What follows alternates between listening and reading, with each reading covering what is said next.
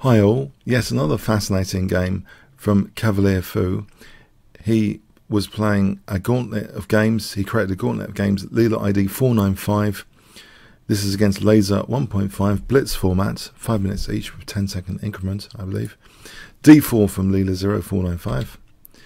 We have the Slav defense, another an ex immediate exchange on D5. Quite common is actually knight f3 here, for example, knight f6, knight c3, e6, e3. This is very common. So the immediate exchange, though, c takes knight c3, knight f6, bishop f4, knight c6, e3, bishop f5. Now white tries to punish black. Leela tries to punish black, neglecting b7 there. Knight a5, this has all been seen before. This is the, the key top move here to address b7. Clearly the bishop's on b8 here, so there's no rook b8. If queen b6, this is better for white just taking. And whatever black does, it's a nice advantage. If knight b4, just, just this, it's a nice advantage for white. Uh, so if e6, again, this, this position is just thought to be a nice advantage for white, theoretically. So knight a5 is the top move played here. Check, key move dragging the bishop back behind the pawn chain and closed in its own pawn chain by dragging the bishop back. The alternative knight c6 is not very pleasant for black. For example, knight f3, bishop b5, and then the pressure mounts on c6.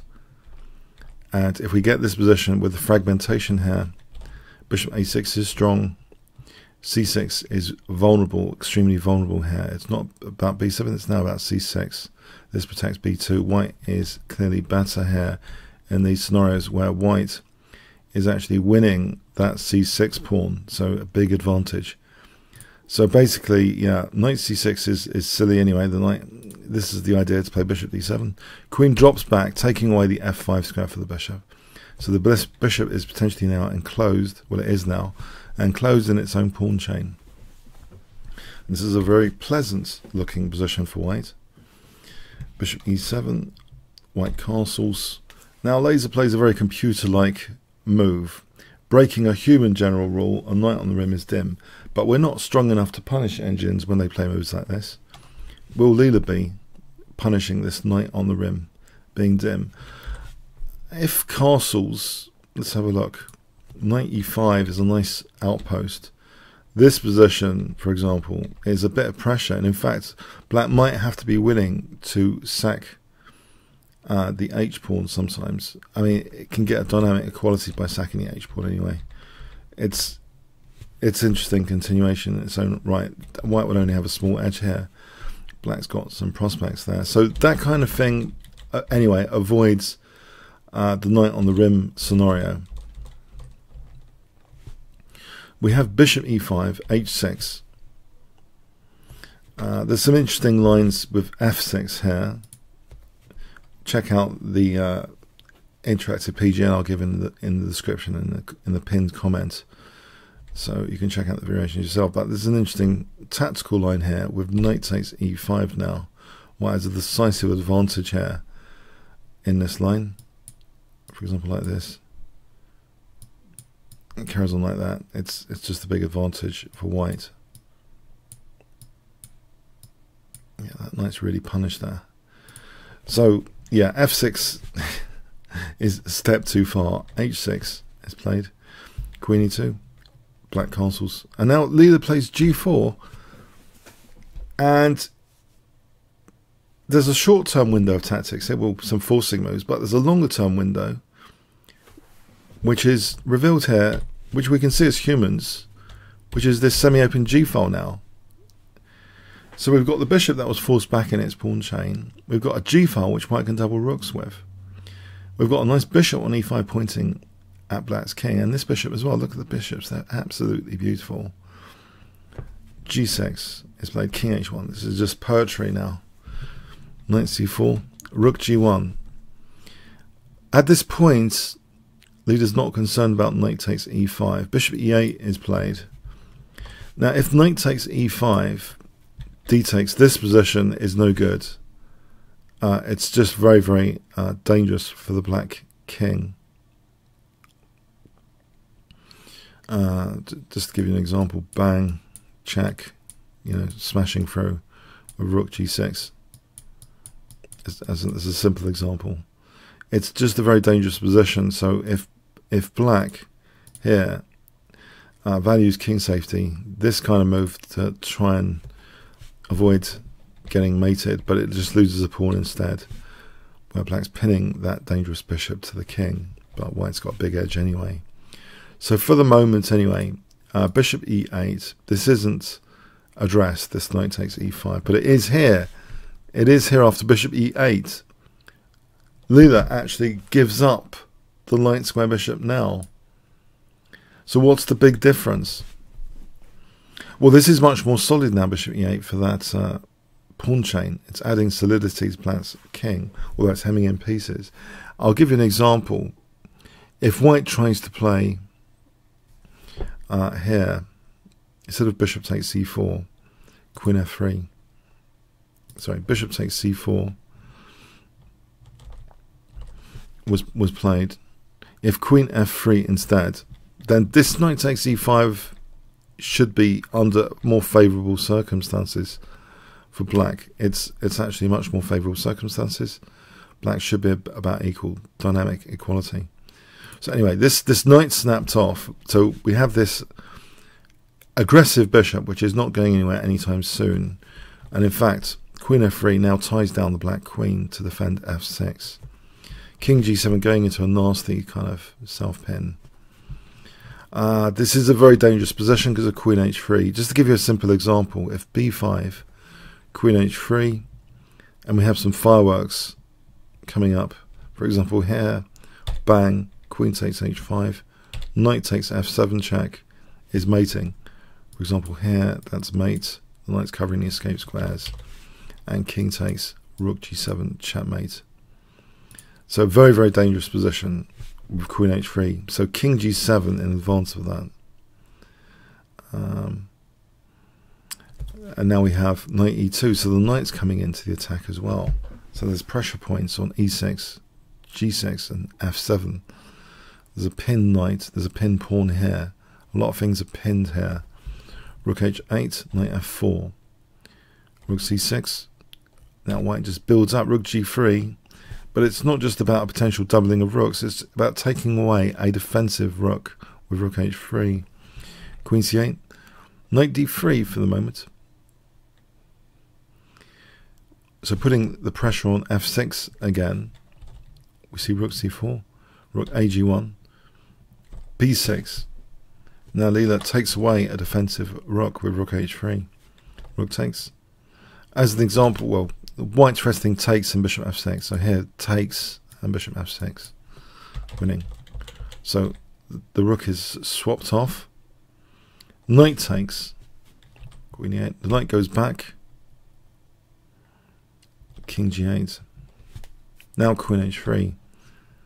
With the big threat of queen h6 in this position, black has to be very careful if I'll give you an example continuation. If b5, queen h6, b4, knight f4. This is just going to be slaughter time for the black king. For example, like this, meeting. Yeah, there's scenarios where it's absolute slaughter time. So in the absence of the light square bishop, the other pieces are really on the attack, as you can see here. Um, yeah, if knight takes queen h8, checkmate. So all the other pieces are really on the attack here. We see queen c8. And actually, here, queen f3 putting the queen back to protect f6. Knight f4. Queen d7. b3 kicking the rook. Now this is a fascinating tactical aspect of the game. What does Leela play? What would you play in this position? I can tell you not just what Leela played, but what my my engine Houdini uh, thought was really strong in this position. But they're both really strong. It's a really strong position for White anyway. So absolute high precision, clinical finish might not be in Leela's reach right now, but what she did play is very, very effective and winning in any case. Leela actually took the front of the pawn chain. Uh, traditional wisdom, if you take a pawn un, it's on the uh, underpinning the pawn chain like f7. It's undermining g6. So this seems a bit strange to take a a pawn at the head of the pawn chain rather than the base of the pawn chain. My engine is saying take the pawn at the base of the pawn chain, and as an example, this really smashes up black because then we can take that. That was routed by the f7 pawn, and it's just slaughter time. It's absolute slaughter time. This continuation here, because of that pin, uh, is just really nasty. If we get this situation, queen g7 threatening rook takes and bishop f6 pinning the queen, for example, just put that on the board. This this position is just slaughter. So say like this, it's just absolutely winning. So there's a winning continuation with knight takes f7. And if king takes f7, knight takes g6. Now maybe Leela might have missed this weird quirky knight h8 check. It seems to be one of the strongest moves because this position is painful for black, threatening bishop f6. So bishop h5, queen f4, the queen comes back to protect f6. Rook c7. It's just, it's, it's black's cracking here. Queen e8 allows bishop f6. But it's, it's, uh, it's all over here.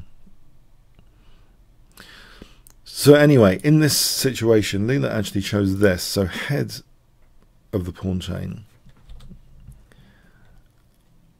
But after bishop takes f6, this is sufficient. This is a massive position for white. White's actually threatening rook g3 to either f3 or h3. So threatening mate on f8. Black played the desperate e5.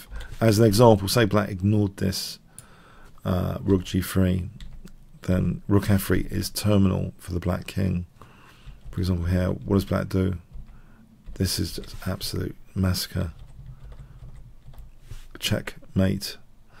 So uh, basically, yeah, e5 is a desperate uh, throw of the dice.